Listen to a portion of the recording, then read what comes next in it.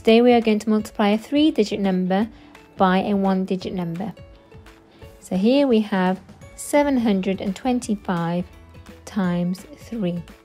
I'm going to start by multiplying the 5 by the 3. So 5 times 3 is 15. Regroup the 1 into the tens column. And then multiply the 2 by the 3. 2 times 3 equals 6 add the 1 make, gives, makes 7. So now we have 75. Now let's look at the hundreds column. 7 times 3. What's 7 times 3? 7 times 3 is 21. So 725 times 3 is 2175. Again, follow the steps. And the next question, if you are not sure, have a go with me. Can you work it out? Correctly.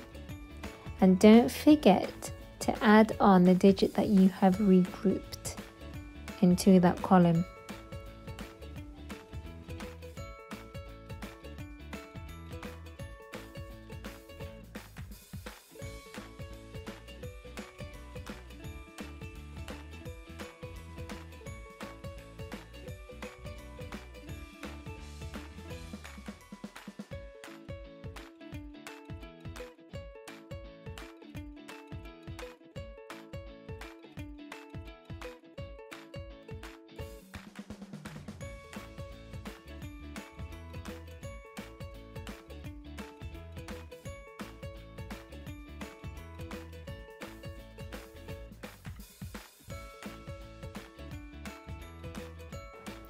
Estimate the volume of these cuboids, I'm going to use these one centimeter cubed cubes for my estimations. So if I have a look below, I'm going to estimate that maybe four can fit along the width.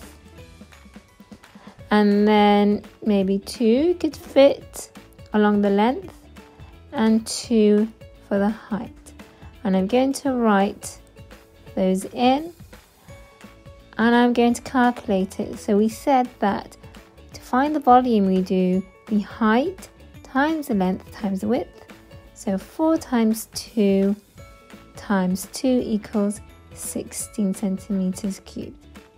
I'm going to do the same in the next cuboid. So I'm going to estimate the height, the length and the width. And I'm going to use the formula above to work out the volume of the cuboid. See if you can do the same with the rest of the cuboids to estimate the volume.